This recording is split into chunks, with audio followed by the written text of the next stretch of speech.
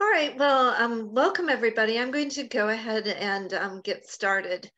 so um, my topic this afternoon is exploring Jordan, Council of Academic, uh, Council of American Overseas Research Centers opportunities for faculty.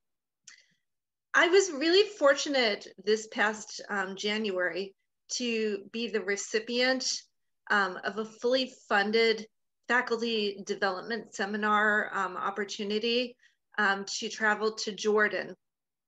And this was an opportunity that was offered through the Council of American Overseas Research Centers.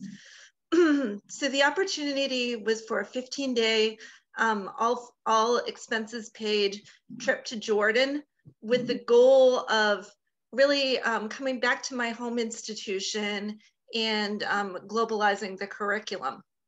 So I'm going to go ahead and get started. Um, today, this is going to be part travelogue and part um, informational for those of you who might be interested yourself in pursuing one of these opportunities. And at the end, I'm going to talk a little bit about how you can apply for these opportunities. Um, so first, I'm going to talk a little bit about what the Council of American Overseas Research Centers is. the Council of American Overseas Research Centers is an umbrella name.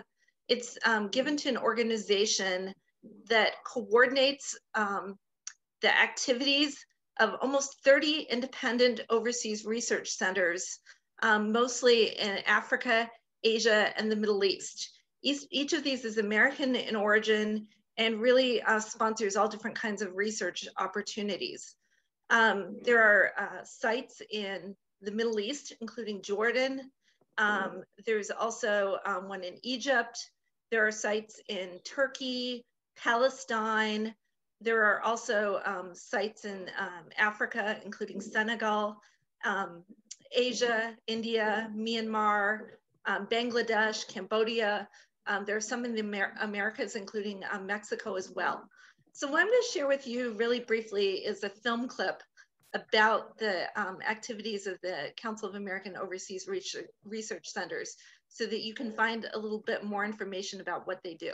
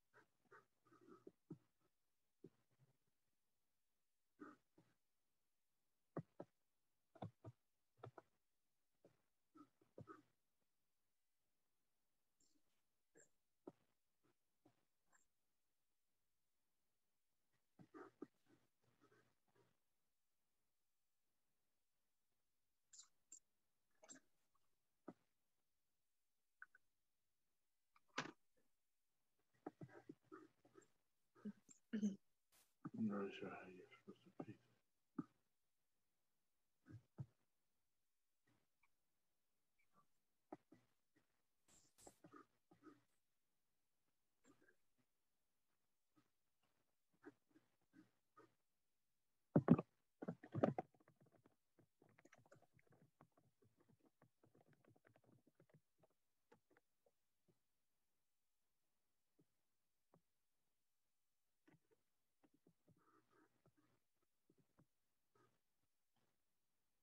right, um, so that's a little bit about what CAORC does. Um, as the video alluded to, CAORC essentially gets um, grant funding from the government to support these fully funded um, uh, faculty development uh, seminars, which are open both to community college and minority serving institution faculty and administrators.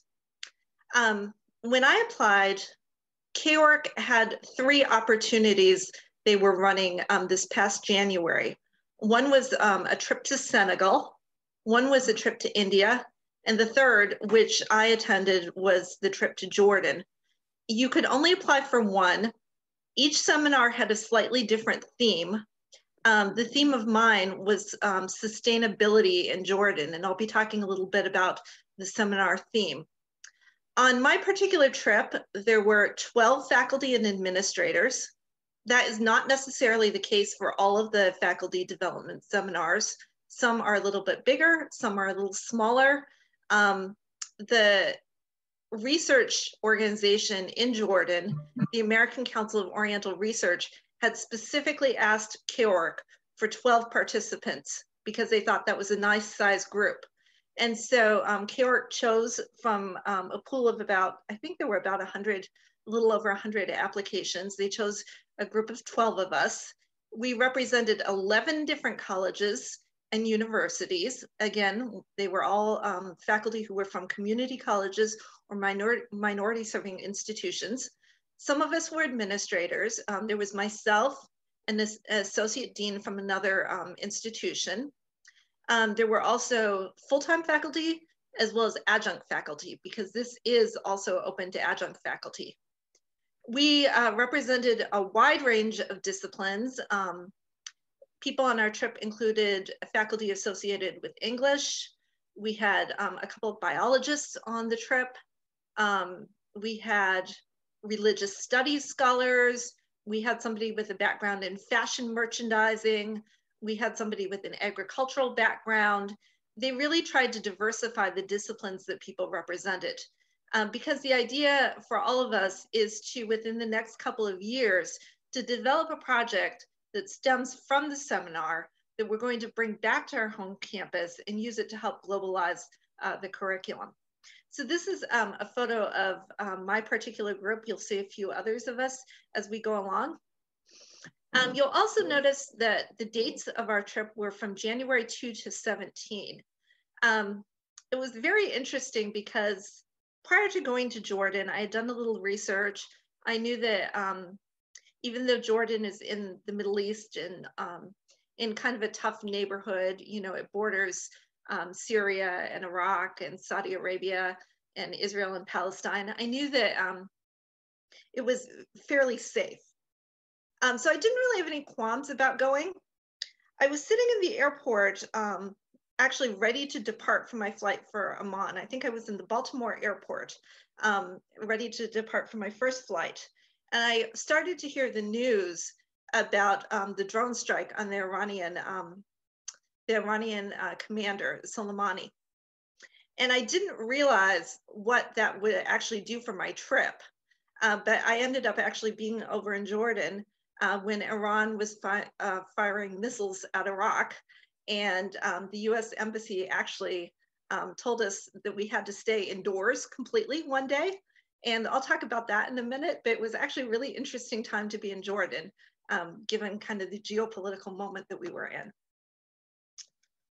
All right. Um, so while we were in Jordan, we were housed at the American Center of Oriental Research um, in Amman. It was both where we were literally housed because it is a huge three story building that has hostel accommodations for uh, researchers, for uh, fellows who sometimes are there for as much as a year, um, engaging in various research projects for people who are just visiting like ourselves. Um, the American Center for Oriental Research also rents out its facilities to journalists and other people who are just uh, traveling through Jordan. Um, in fact, when I was there, there was actually a very prominent um, journalist who was staying on the premises there. We um, actually can't talk about who it was who was staying there, um, but we actually had a very prominent um, journalist who was there um, doing some research as well. So it was really interesting. There were a lot of people who were doing all kinds of interesting types of research. It made for really fascinating dinner conversations as everybody would sit around the table and talk about the various projects that they were engaged in. So in addition to having living quarters, um, it has dining facilities on premises, complete with its own chefs. Most of our meals um, when we were in Amman were actually there. Um, there's also a research library on prem premises. It's actually one of the best libraries in the Middle East is located in this particular building.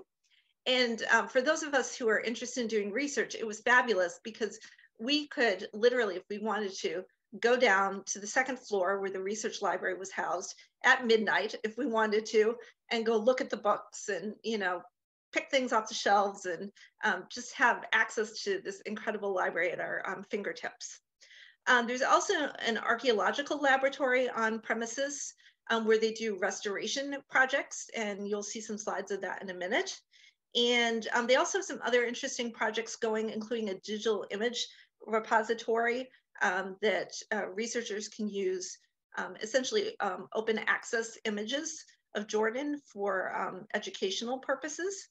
So this was our home um, for most of the two weeks that we were there. Um, I have some pictures here. Um, you'll see on the left, this was kind of the dining kitchen facilities where we would all hang out. And then on um, the right side of the page, you'll see this was actually my room. Uh, the accommodations were uh, kind of basic. They were like um, a dorm accommodation, nothing fancy, but they were certainly adequate. And I was actually really surprised because we each had a single room. And I, I was really not expecting that we would each have our own room, but we were um, spoiled to have our own room and also in suite um, bathroom as well. So um, here you'll see um, a picture of the archaeological la uh, laboratory that was on the premises. On the left, um, the woman there is Barbara Porter, Barbara is actually the director, well, she was at the time the director of the American Center of Oriental Research. So she um, lived on the premises. That was her home as well. Barbara um, has lived in um, Jordan for quite a number of years. She'd been the director for a really, really long time, but she actually just retired and she is um, now based in DC. But she was the director at the time she had requested a seminar in Jordan, kind of as a way of saying goodbye to Jordan. And, you know, she took us all around to all of her favorite spots in Jordan, and it was kind of her swan song. So um, this again, this was ACOR. This is where we stayed.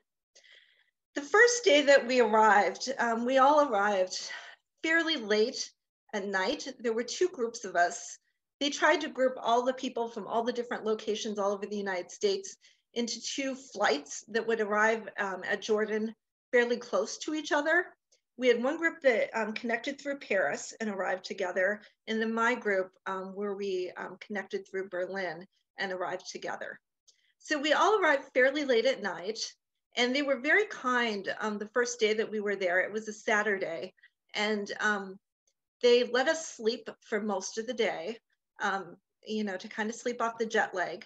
And we didn't actually uh, really get going and start doing anything until about noon. They gave us um, kind of a quick introduction to, you know, how to be safe in um, Jordan, what some of the kind of cultural um, norms that you should pay attention to are. We had gotten some of that before uh, we left as well. They had done um, a Zoom seminar for us um, so that we could meet each other even before we went to Jordan.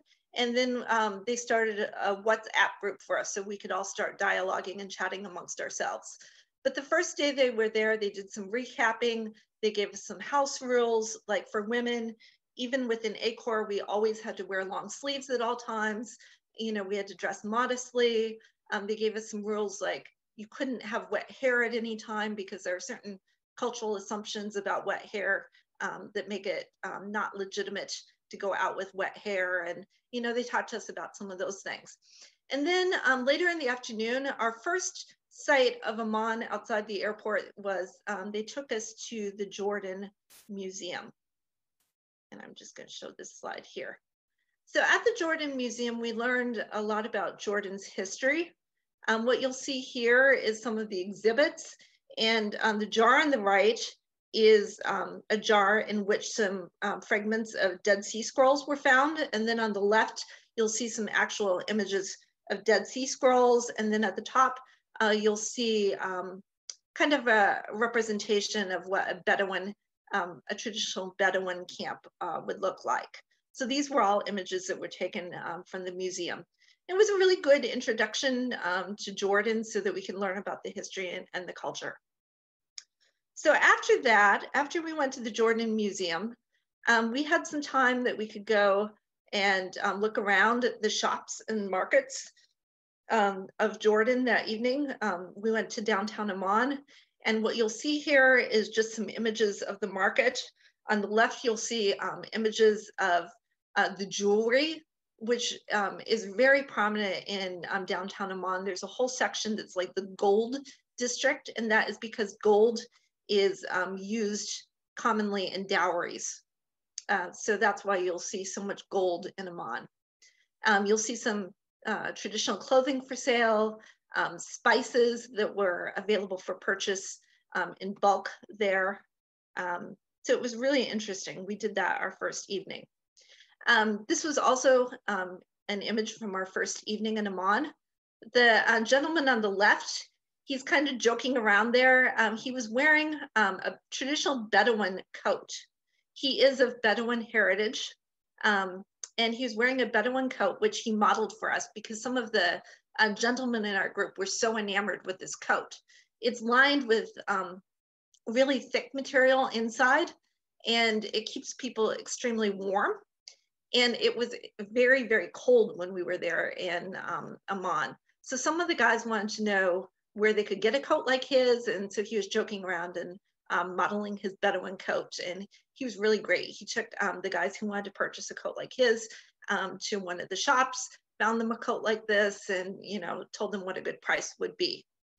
So um, every time we went out um, on the town or on some sort of an excursion, in addition to the people who worked at ACOR, the director and the assistant director, we also had um, professional tour guides who would accompany us. This was our first um, tour guide. Um, he was with us for part of our trip. Um, and then um, through the second half of our trip, we had a different tour guide. So um, following that, um, we all went home. We all went back to ACOR, relaxed. The next morning, we had a uh, we got up early for a full day in Amman. Again, this was just kind of a sightseeing day. They didn't really start us with anything too heavy our first couple days while we were still um, jet lagged. Um, this is a scene um, from us at a mosque that we visited that morning. Uh, so this is uh, the group at a mosque. And um, then later that afternoon, we went to um, the Darat Al Fanoun, which is a very famous art gallery in Amman. And you can see some images there. Um, what's really fascinating about this particular art gallery is that it's built over a hillside in multiple buildings. And, and part of the property of the Darat Al Fanoun is built on ancient ruins, which you can actually see right there as well. Um, after that, and after we walked around and had lunch downtown, we went to uh, a place called Tiraz Museum of Arab Dress, and we learned all about different um, Arab um, uh, clothing norms. We learned a lot about the different stitching and embroidery and um, how to tell which region of the Arab world someone is from based on the kind of embroidery that's done. Um, this particular museum um, was really a labor of love by a woman who um, is a Palestinian immigrant to Jordan. And um, she actually has poured many of her own personal resources into creating this uh, museum of Arab dress. And um, she lives next door to the museum as well.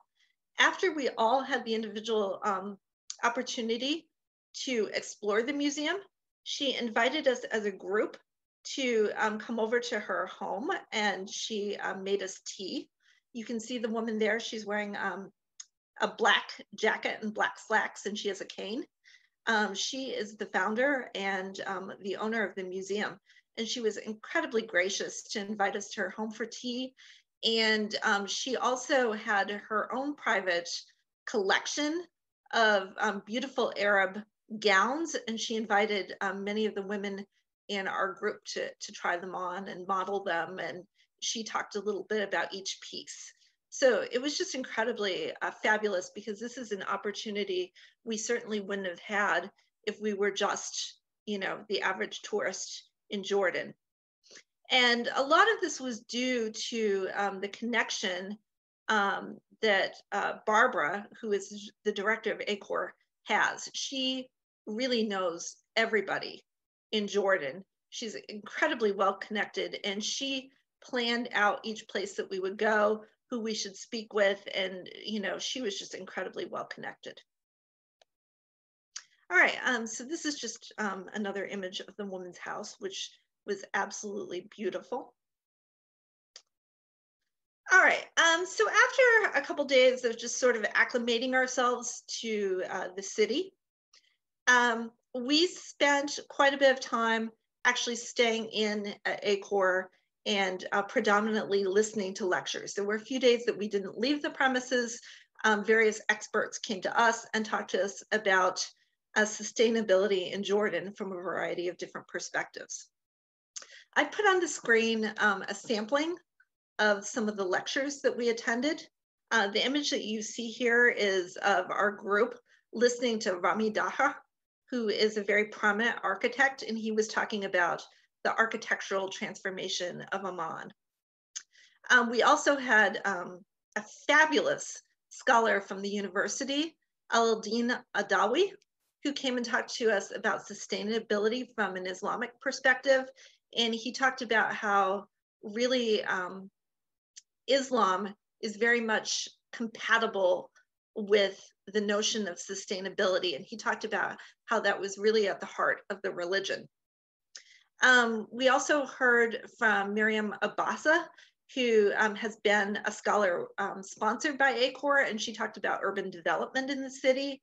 Um, we talked to um, someone else who's also um, been an ACOR fellow who talked about the refugee issue in Jordan, which is something I'll be talking about in a minute. And then we had another presenter come in and, and talk about gender in Jordan. And this was not by any means, um, you know, representative of all representative of all the lectures that we attended, but this is just kind of a sampling. So you can see um, the diverse array of topics that we were exposed to.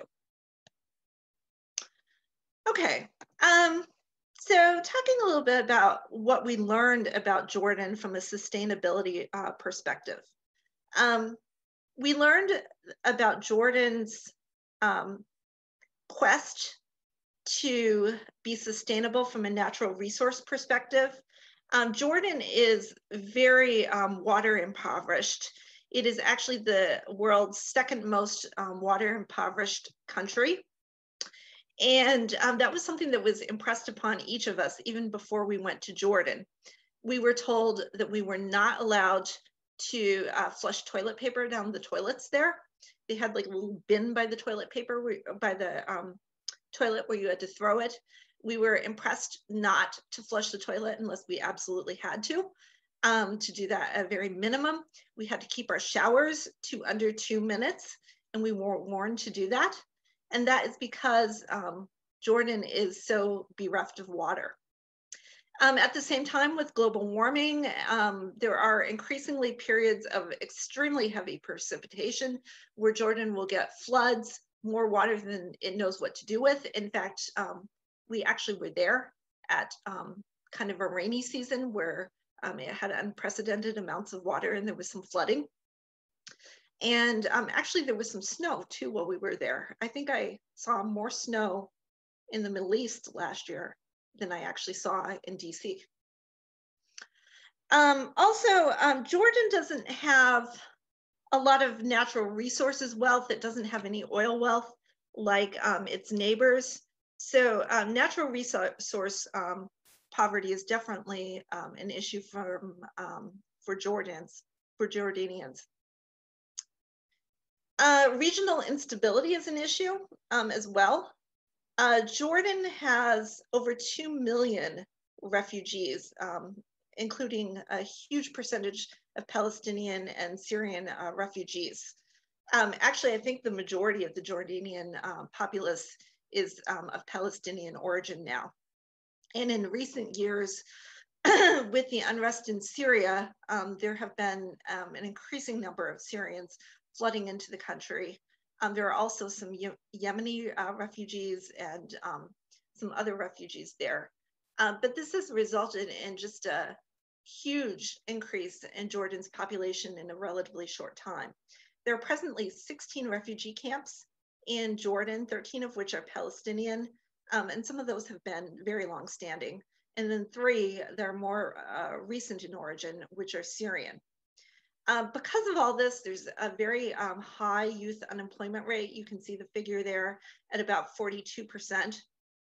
And a lot of um, Jordanians, including doctors and nurses and attorneys, have ended up um, leaving Jordan to go to the Gulf states, um, which has created a brain drain, but there just isn't enough um, employment in Jordan.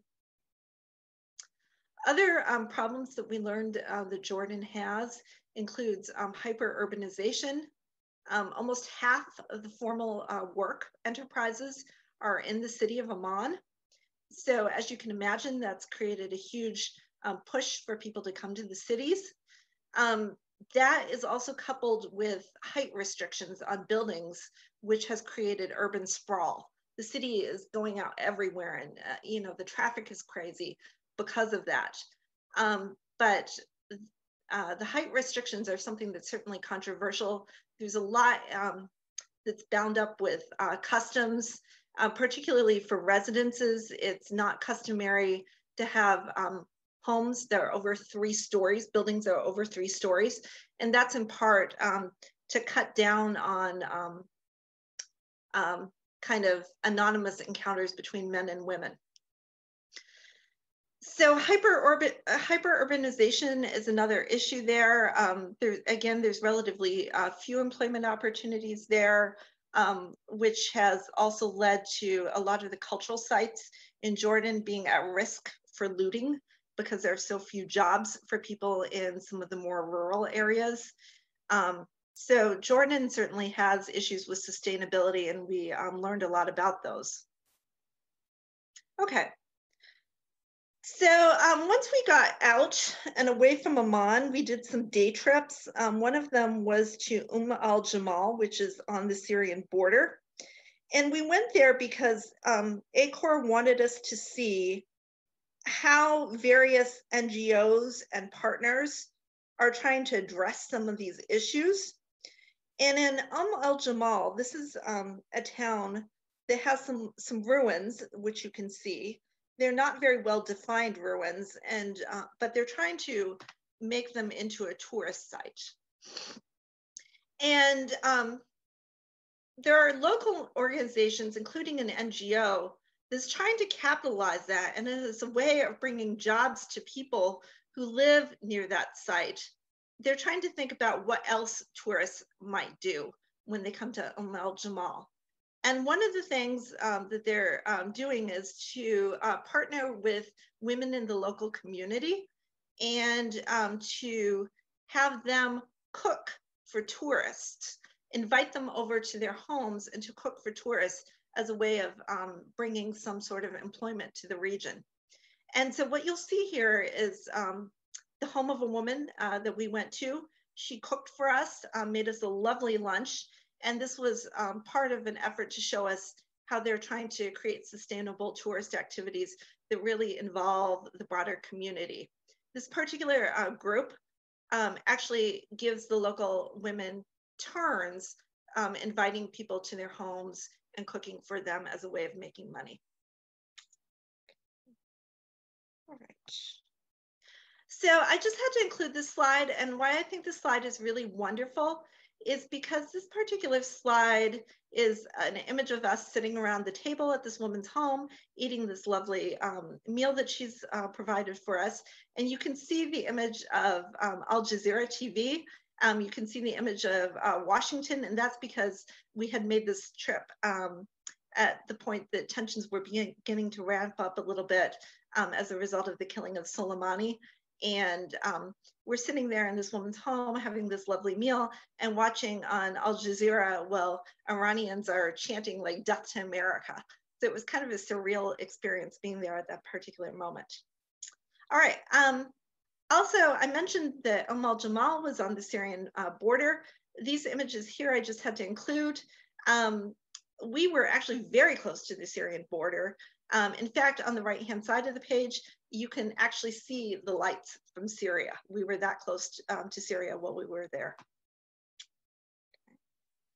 All right. Um, I should say that after we went to Umm al Jamal, we were actually really lucky that we left right before the tensions got really bad with the US. Otherwise, we probably wouldn't have been allowed to go there.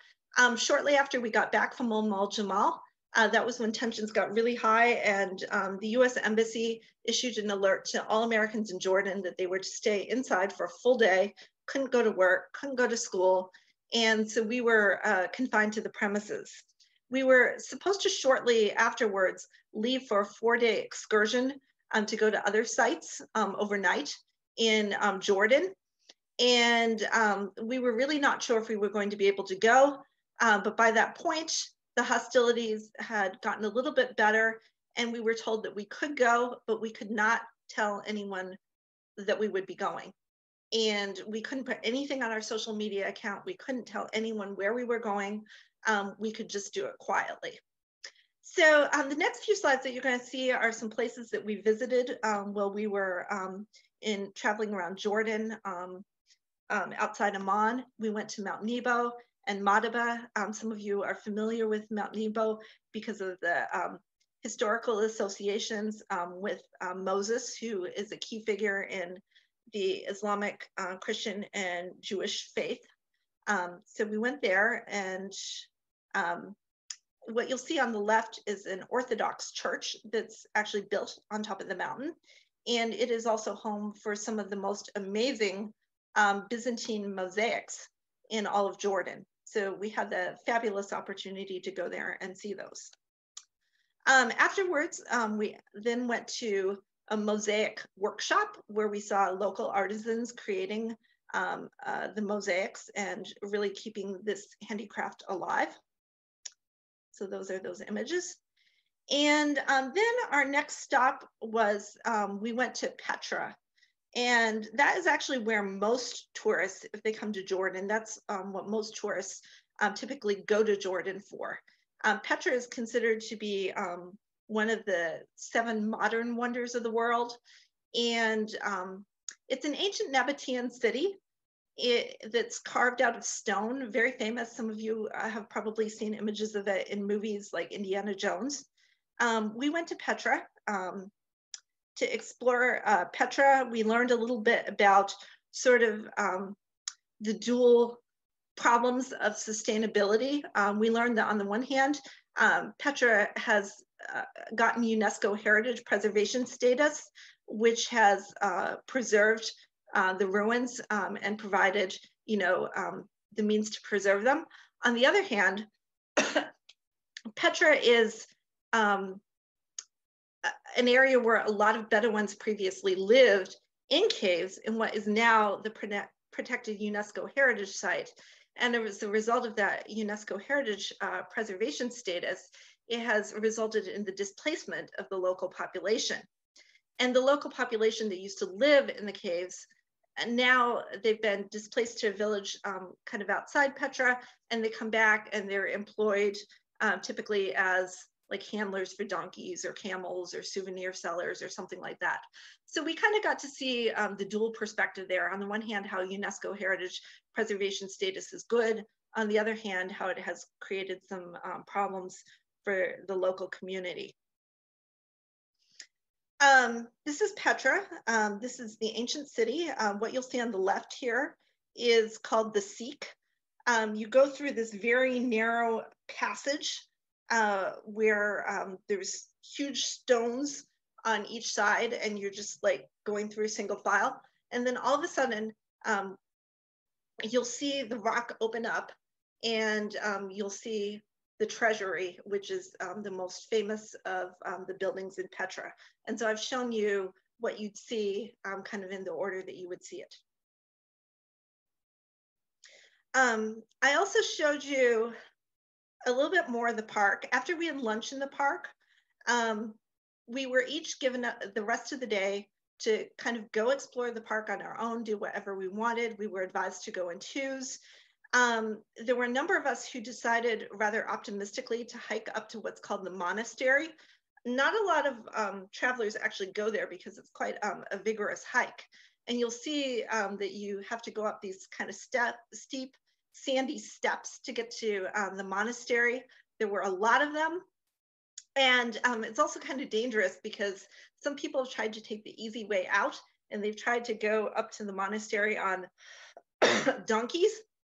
And so you'll see donkeys like flying down the, the steps in the order, you know, in the opposite direction and practically knocking you over. So it was a rather steep, arduous um, climb up to the top, uh, but it was it was amazing. And you'll see some of these images that you can clearly see were worth it. Um, it was an exhausting hike. Um, one of my friends had a Fitbit on. It was, I think, a 12.5 mile hike that day, up and down these steep precipices, but it was it was just incredible.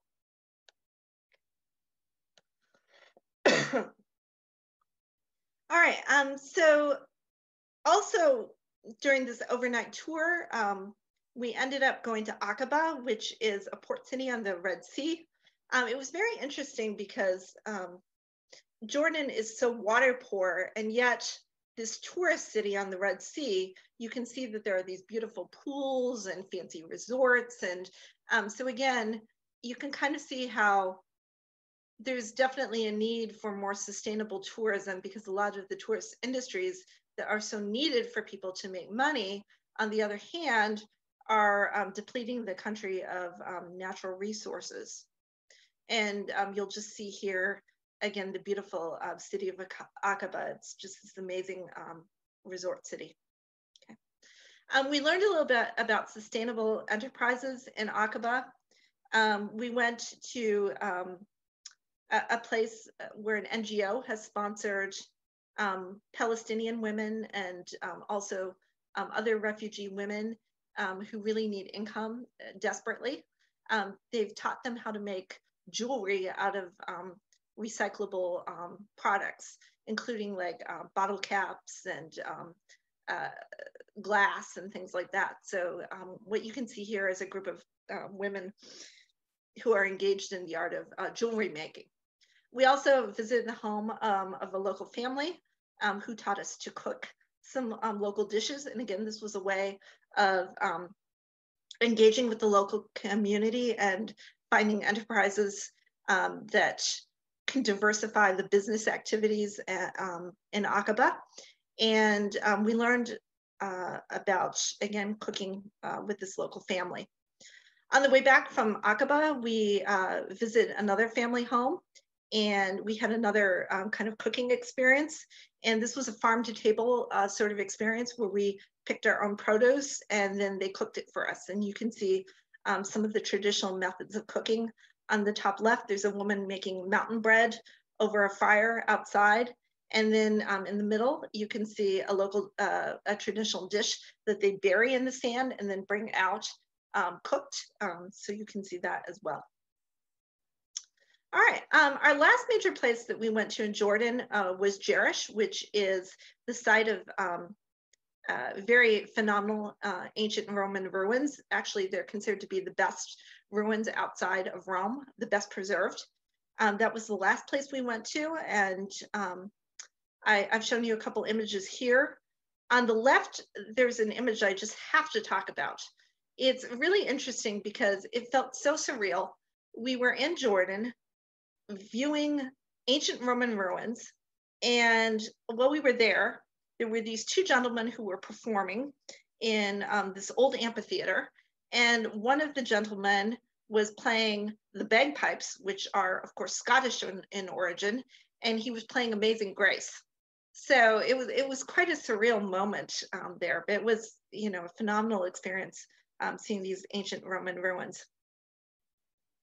And um, I took it. I included this picture because I thought this was fascinating. You've got this amazing um, uh, Roman ruin site, and uh, yet, you know, people are letting goats um, gaze among the, the ruins, which, um, you know, is something that wouldn't just happen everywhere, but it was really interesting.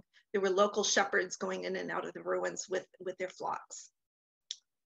Um, okay, so um, I'm moving kind of quickly because I want to wrap up so that there's time for questions.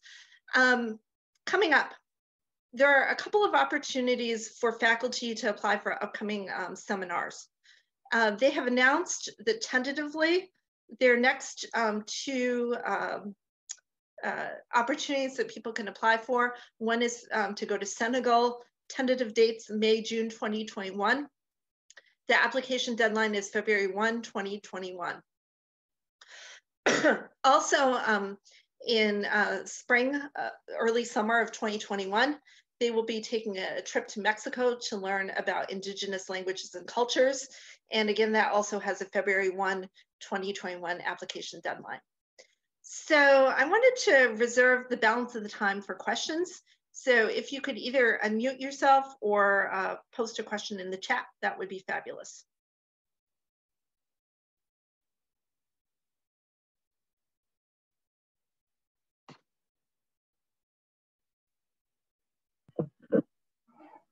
Hey, no.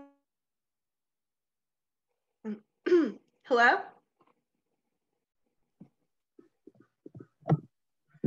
Can you hear me? I can, thanks. You can? Mm -hmm. Okay. Um, thank you for sharing this. Um, I had I had stumbled upon um, this organization. I guess it was last winter. I was doing some mm -hmm. research for um, a course, and I actually did apply for the Senegal trip, but was denied. But mm-hmm. um, I don't know if it's worth trying again, but it looks so interesting. And, and mm-hmm. even more so, I would love to go because, because our students are from all over. And, you know, to be able to visit where some of them might be from, I think is so important because it makes you understand so much more about them. Yeah, I definitely think it's worth um, applying more than more than once if you didn't get in the first time. And again, some of it isn't necessarily about your own application. They try to get a mix of of people from different geographic locations, from different mm-hmm. disciplines.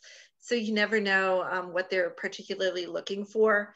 I think um, part of the um, trick is also finding a way to connect the theme of the seminar to what you're teaching or what your research interests are. Um, mm-hmm. my one of my research interests is tourism, so I think that helped me in terms of um, being able to put together an application uh, for Jordan. But I definitely think it's worth applying for again. Yeah, uh, I guess I could try and tie in healthcare. yeah, but, and actually, um, I think there are definitely there are definitely ways to connect that. I'm sure uh, particularly given the location, um, you know, Africa. Um, yeah. I, am sure there are ways to connect that to the theme. Thank you. Mm -hmm.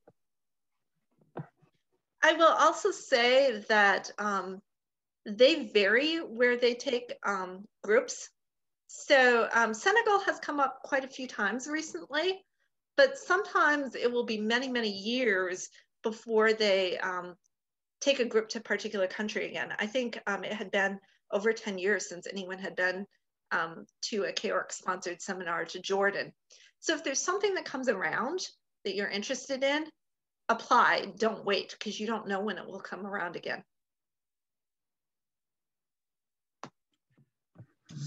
So Nicole, there is a question in the chat um, uh, about, is this, um, available for full-time faculty or is it just for adjuncts? It's for both. It's for full-time faculty, adjuncts, administrators. It's open to all three populations. Um, staff are not, I think, eligible to apply, but faculty, um, including adjunct faculty and administrators, are welcome to apply.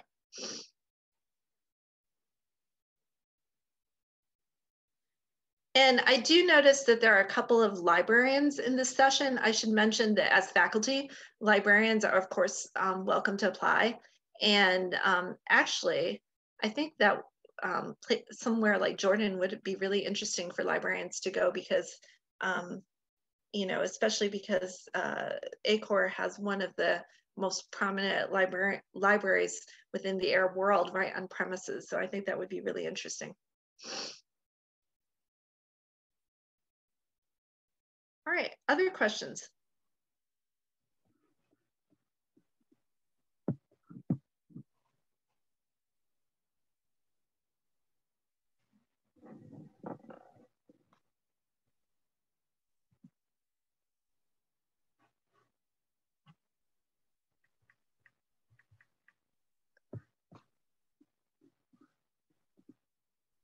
All right. Any anything else anyone wants to ask?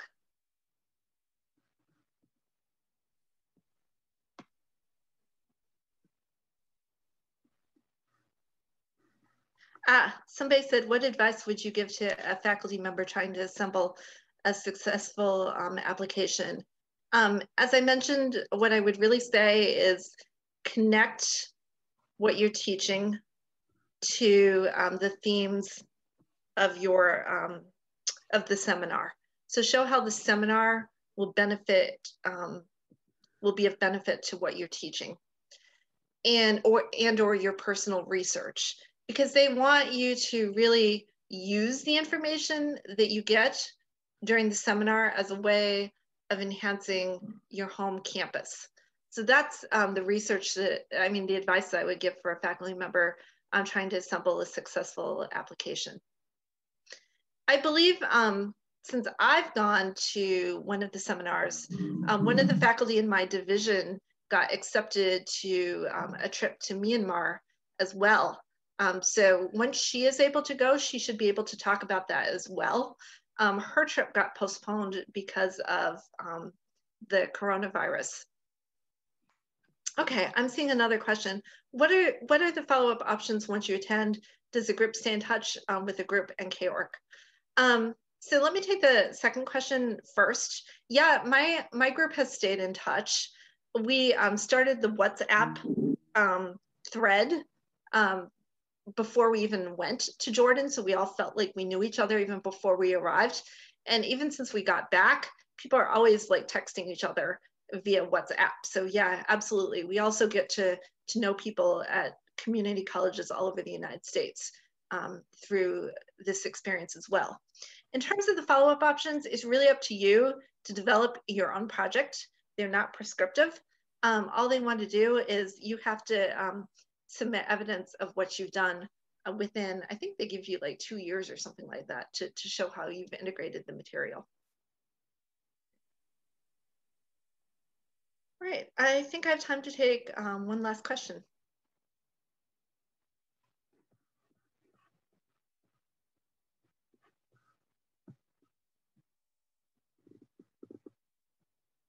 All right. Well, if there are no other questions, thank you so much for attending.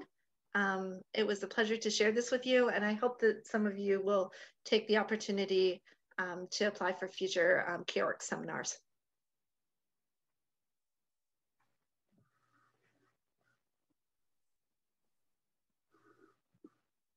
Thank you, Nicole.